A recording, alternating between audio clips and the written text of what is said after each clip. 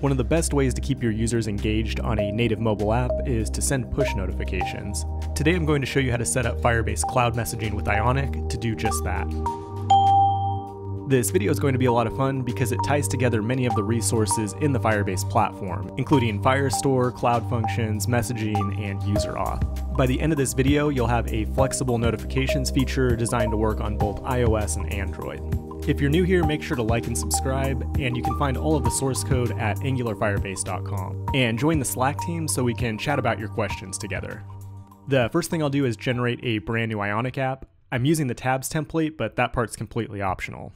Then I'm going to go into the config.xml file and make sure that we have a custom widget ID that we can use to register our project with Firebase. We're targeting native mobile apps on the App Store, so what we're going to do is register our app on the Firebase console for both iOS and Android. For both platforms, the only thing you have to do is enter your ID and click through the steps. You don't need to download the SDK or anything like that.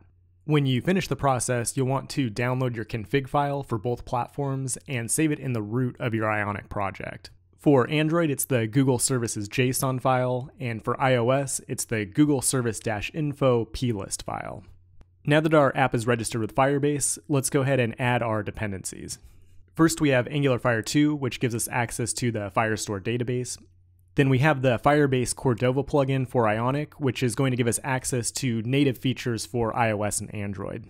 Follow the official install instructions for both packages, and then generate a custom Ionic provider called FCM. We'll use this provider to create a tightly integrated cross platform notifications feature.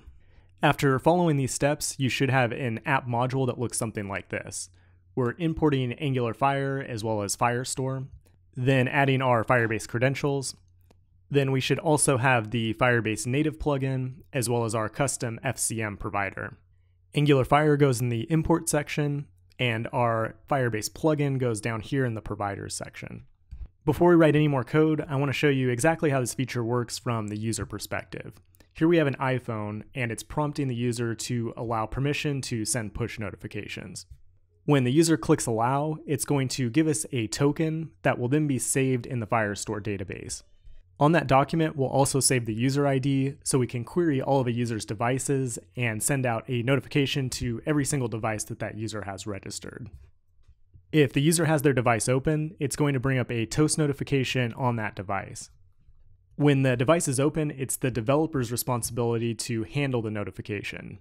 When the app is in the background, we'll actually send a push notification through the native device. Then I'll show you how to send push notifications directly from the Firebase console and also programmatically via Cloud Functions. Most of the magic is going to happen in our FCM provider, so let's go ahead and start there. First, we'll bring in the Firebase plugin, as well as Platform and Firestore. Then we can inject these in the constructor. From there, its first responsibility is to retrieve the actual token from the user, which is just permission to send notifications to this device. We'll set this up as an async function, and then we need to check for the platform that we're actually retrieving this token from. When it's Android, we just need to call our native plugin getToken, and that's going to resolve with the token. When it's iOS, we have one additional step, and that is to request permission from the user. That's going to trigger the iOS pop-up modal that I showed you earlier. Then lastly, we could check to see if this is a web application and send a notification that way as well. For right now, I'm just going to leave this as a to-do because I've already covered it in episode 64, and also AngularFire 2 is going to be releasing a cloud messaging module in the near future. So you can count on another video when that happens. Then the final thing we'll do in this method is save that token to Firestore, which is just a big long string. I'm going to extract this out into a different method, and if we don't have a token, we'll just return. Otherwise, we're going to make a reference to the devices collection in Firestore. The goal is to send a notification to every device that a user has registered, so we also want to save the user ID on this document. I'm just hardcoding a test user, but in real life you'd want to use the Firebase auth UID. And the token is just a string, so we can actually use that as the document ID. And that's important because it ensures that every device in Firestore has a unique ID. Lastly, to listen to notifications, all we have to do is call onNotificationOpen, and that returns an observable that we can use in the front end. And I should point out that specifically for native apps, you'd want to use a different method for web apps. Now we need to run the get token method in one of our components. For now, I'm putting it in the home component, but you could also put it in the app component or some other root level page. Inside this component, we'll want to import our FCM provider, as well as the toast controller from Ionic and the tap operator from RxJS. Then we can inject those in the constructor. Getting the token from the user is just a matter of calling this method, and it's going to handle everything else automatically on their device. Once we have the token, we want to listen for incoming messages and handle them accordingly. Ionic makes this really easy because it has a built-in toast notification service. So we can listen to our notifications and then use the tap operator to show a toast whenever a new message comes through. Every message will have a body, and then we'll show it for three seconds, and then it will automatically hide. That's an observable, so the last thing we have to do is subscribe to it. Let's go ahead and test it out by sending a message directly from the Firebase console. You'll need to have an emulator running, in this case I have Android going.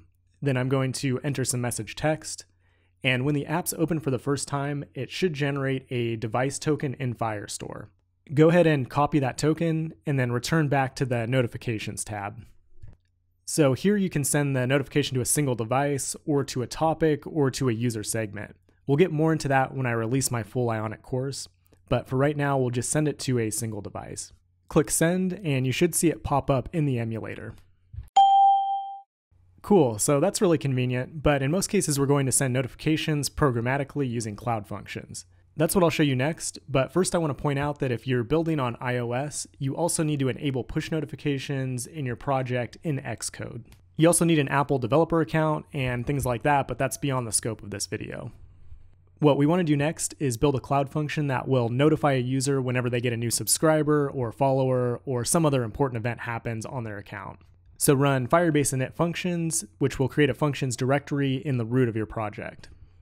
I'm using TypeScript for my function, so I'm going to go into the functions directory to the source index.ts file. Then we need to initialize the Firebase admin SDK, and I'm exporting a function called new subscriber notification. This function is going to run whenever we have a new Firestore document created in the subscribers collection. So you could think of this in the same way that you think of YouTube subscribers. What we want to do is notify the owner of that channel whenever they get a new subscriber. We can make this an async function to return a promise, which is required in Cloud Functions. And then we'll get the data from that document by calling event data data. Each document should have a user ID, which is the owner of the channel, and a subscriber, which is the user who is subscribing to that channel then we can use this information to format the actual notification content. So we'll set a title of new subscriber, and then we'll say subscriber name is following your content. You can also add an icon image as well.